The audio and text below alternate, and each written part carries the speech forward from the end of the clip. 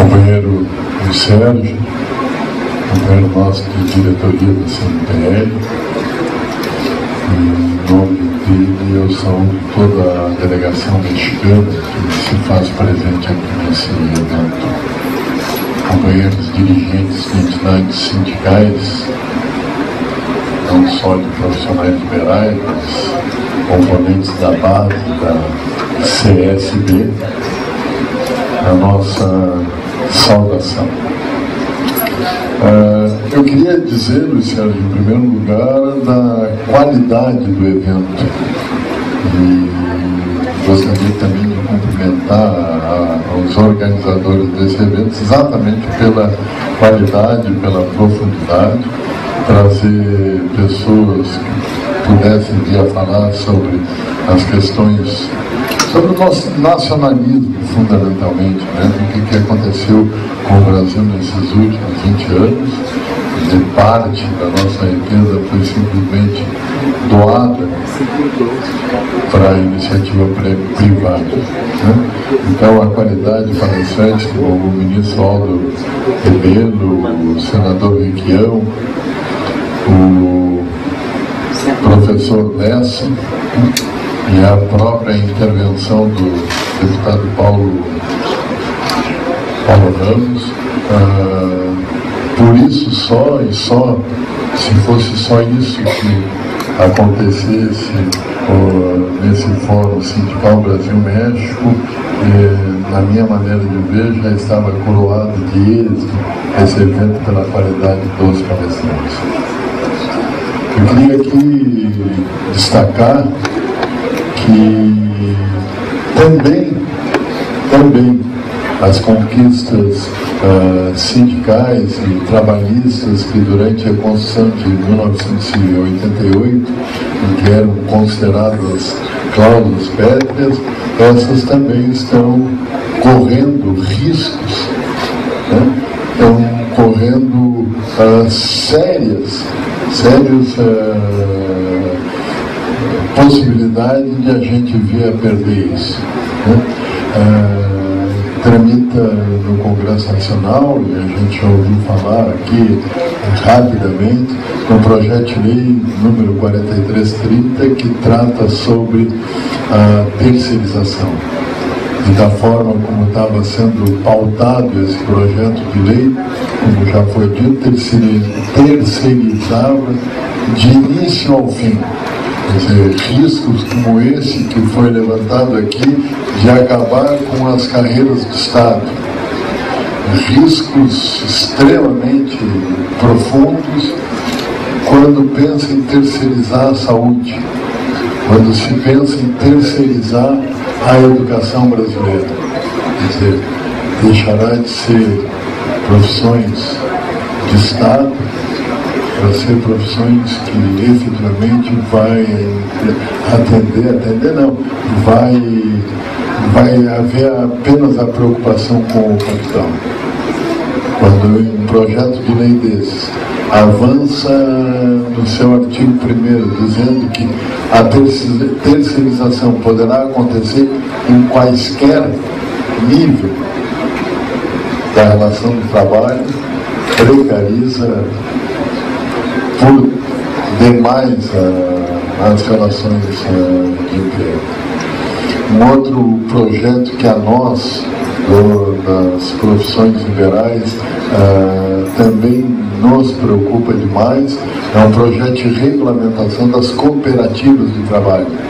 Ou seja, da forma como está sendo construído esse decreto presidencial, uh, simplesmente nós não teremos mais uh, pessoas da área da saúde trabalhando no hospital.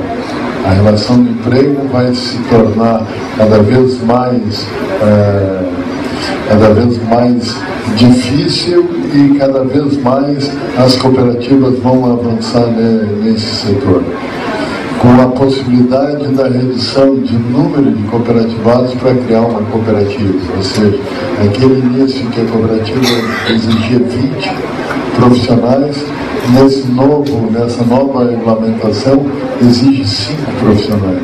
Ou seja, poderá ser bancada em qualquer, em qualquer ramo de atividade pelas empresas, pelo patrão.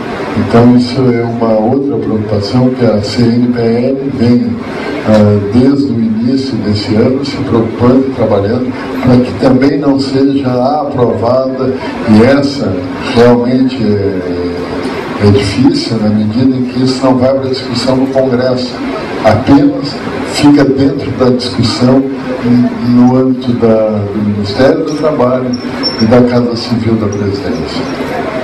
Uma outra coisa que vem nos, uh, nos preocupando de uma forma muito profunda é a questão da mudança de tabela de categoria.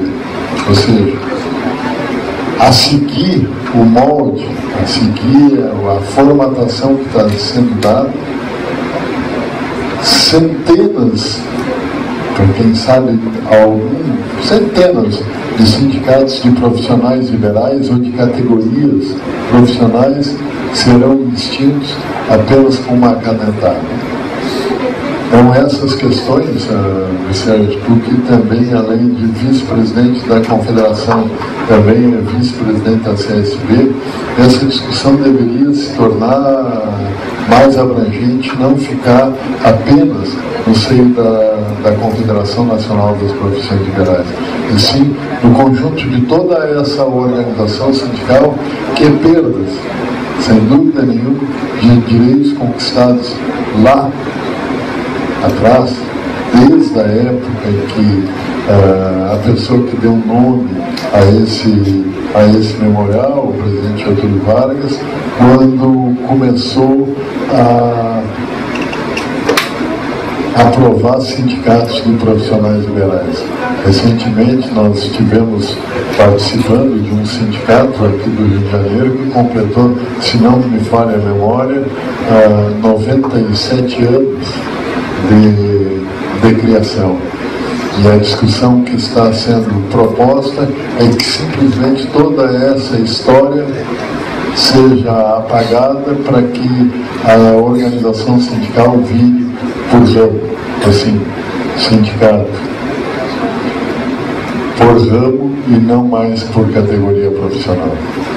Então, debates como esse que estão sendo feitos, fóruns como esse que estão sendo feitos, é extremamente importante para dar um alerta às nossas organizações sindicais, dar um alerta à classe dos trabalhadores, para dizer que não só nessas questões uh, econômicas e políticas, mas o risco é cada vez maior nas questões das relações trabalhistas e das relações sindicais.